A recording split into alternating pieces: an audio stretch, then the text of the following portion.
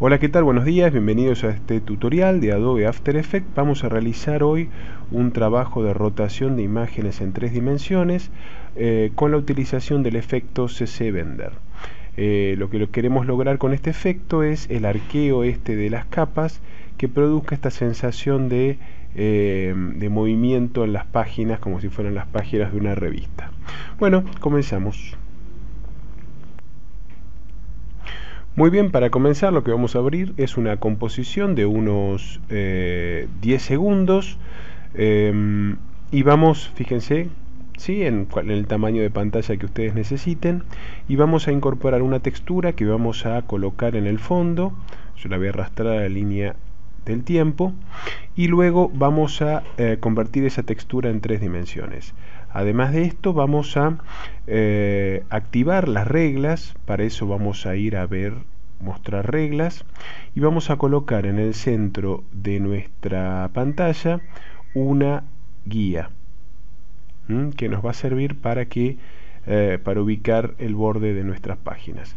Después lo que tienen que hacer es traer un montón de imágenes. Lo necesario es que las imágenes sean todas del mismo tamaño.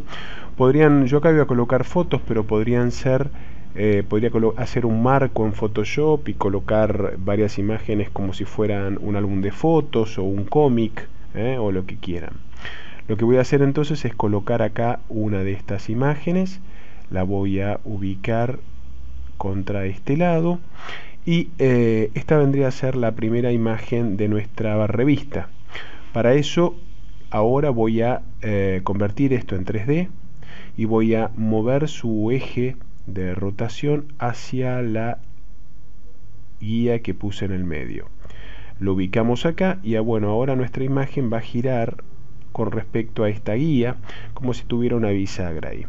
Voy a presionar la R de rotación y lo que voy a hacer es precisamente en tiempo cero voy a marcar la rotación en este lugar y al segundo 1 voy a hacer una rotación en el eje Y ¿eh? De 90 grados. Para ajustarlo bien voy a poner acá 90 grados.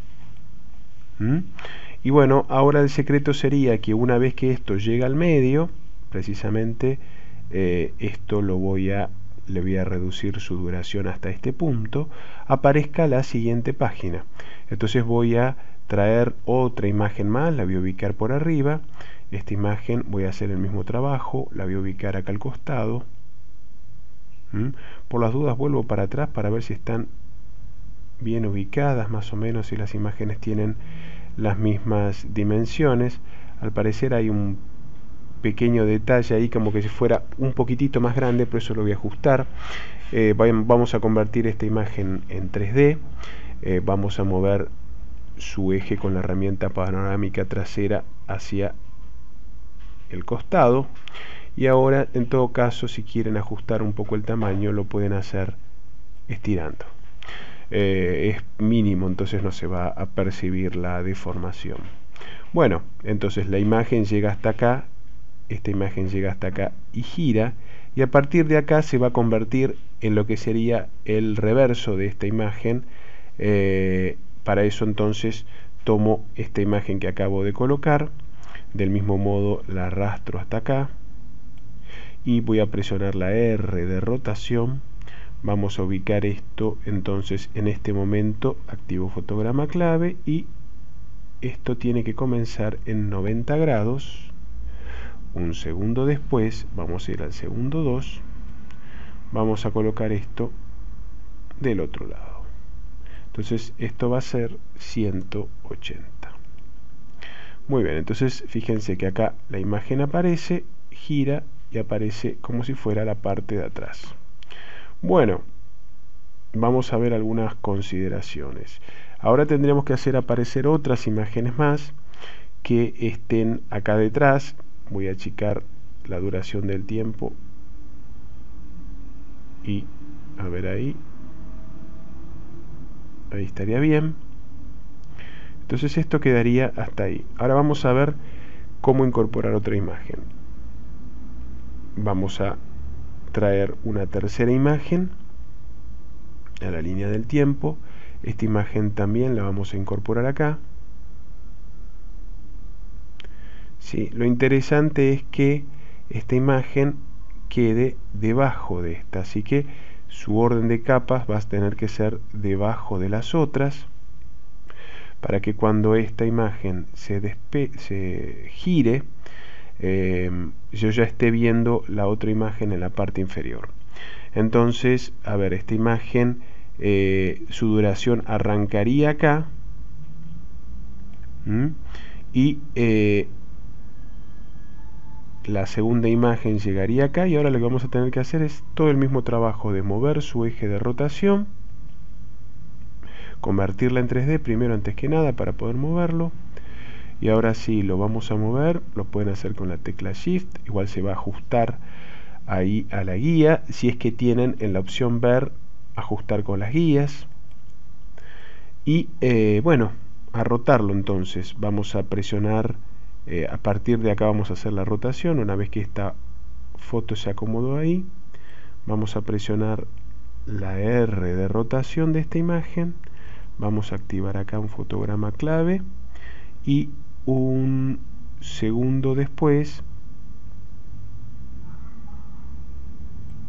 vamos a rotar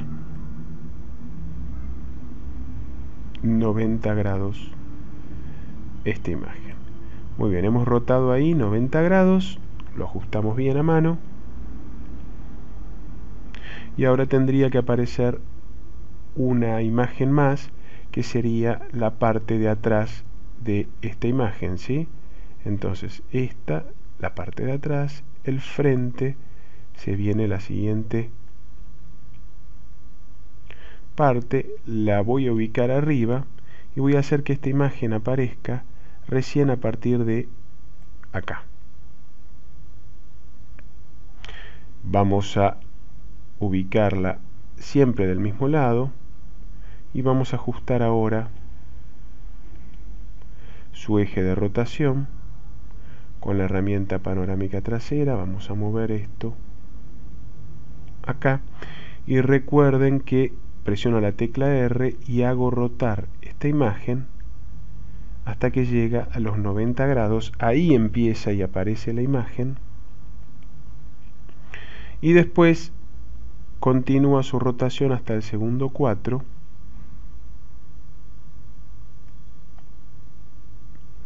ubicándose en los 180 grados ¿Mm? Muy bien, si hiciera falta corregir un poquitito, vamos a entonces seleccionar la imagen y la vamos a estirar para que ocupe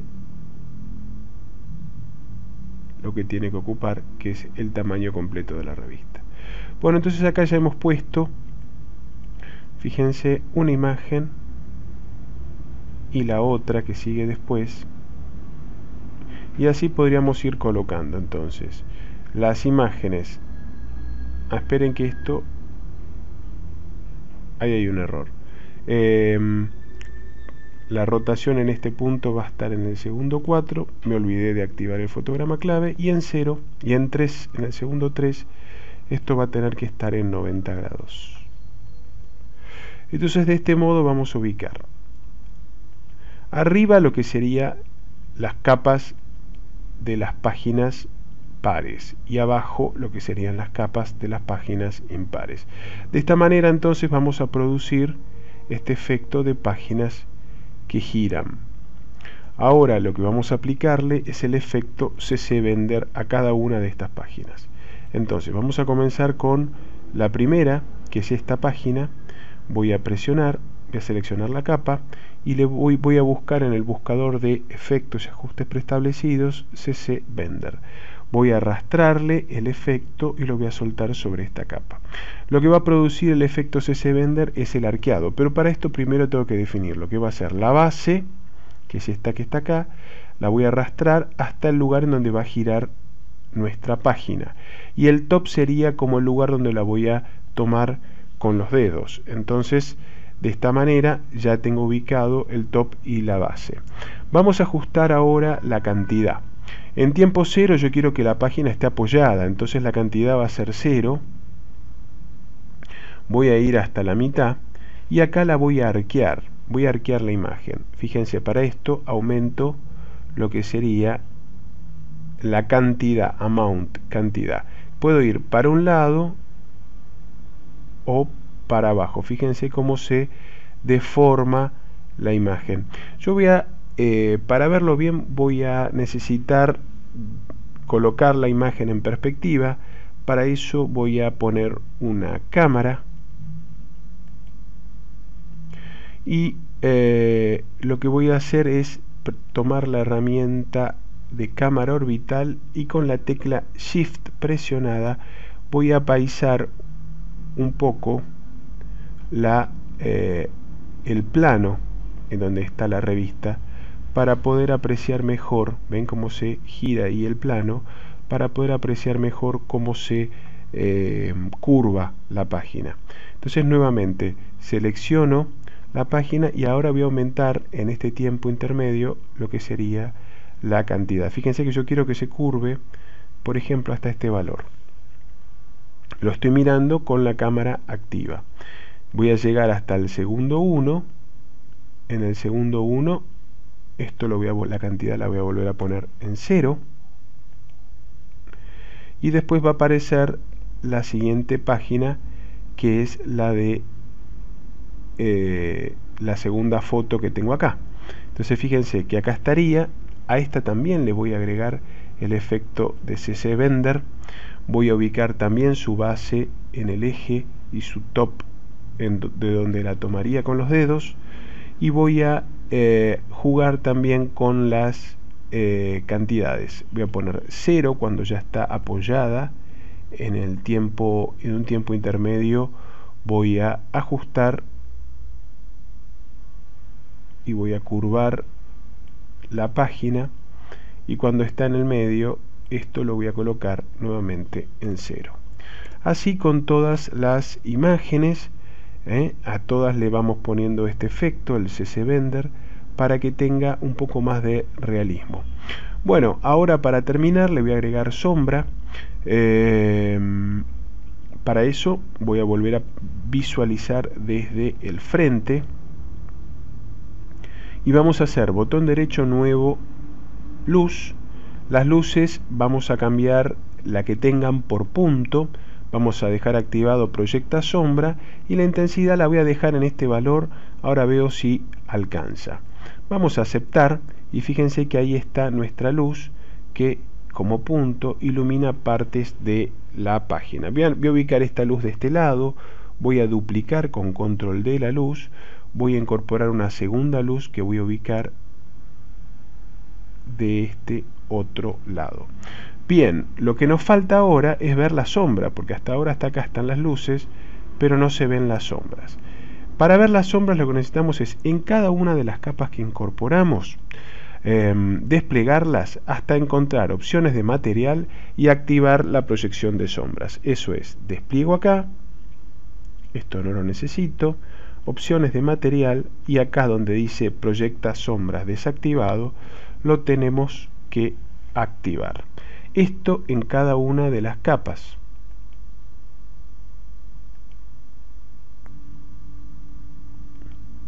Muy bien entonces ahí lo hemos activado. Fíjense entonces que en cada una de las capas nosotros ya tenemos un poco más de efecto eh, realista en donde vemos que cuando la imagen gira tenemos cierto efecto de sombra y cuando la imagen se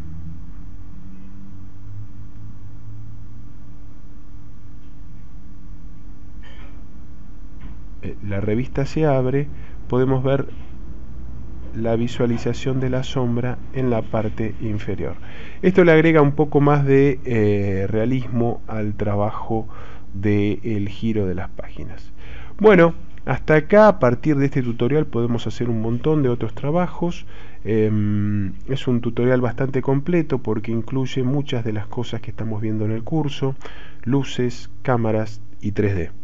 Así que bueno, em, Espero que se haya entendido, de todos modos podemos hacer algunas variantes en algún otro tutorial. Hasta la próxima.